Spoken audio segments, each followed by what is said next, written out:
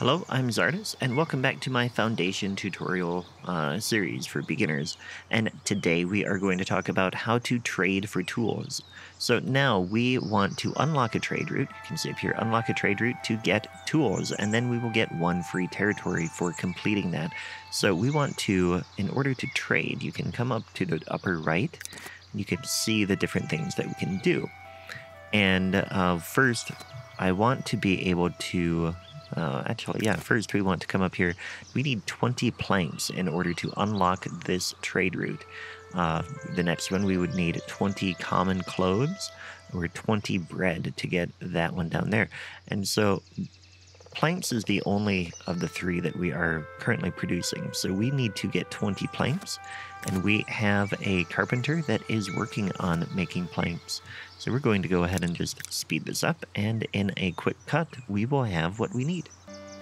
All right, so we now have 20 planks. We can come back up here to the trading uh, window and go ahead and unlock that trade route. So now we have completed that quest. We have unlocked a trade route. Yeah, okay. Thank you for all of that. Yes, okay. And we have one free territory that we can buy.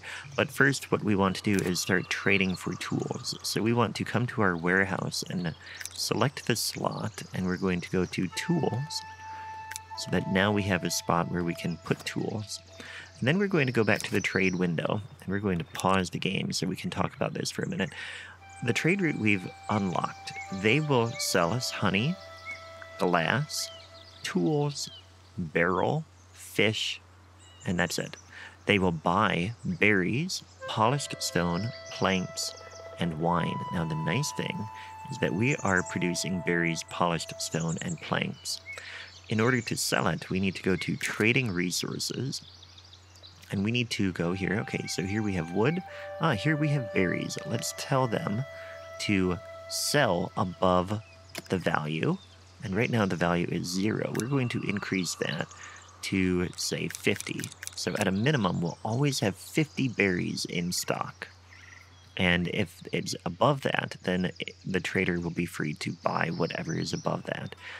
Then we want to come down to planks. We want to sell that. Again, we'll put this at 50 for now. You can do that whatever level you want. And polished stone, we're producing that, so we can sell that above. Uh, we'll, we'll do that as 50 as well. We'll keep 50 of all of these for now. Then we want to buy tools. So we want to buy inventory. Let's say we want to keep 15 in our stock at all times. And that's all that we need to buy at this point. So we're going to leave that. We can leave that quest away. And that should get us some tools. So that is all we need to do. And that is how to trade for tools.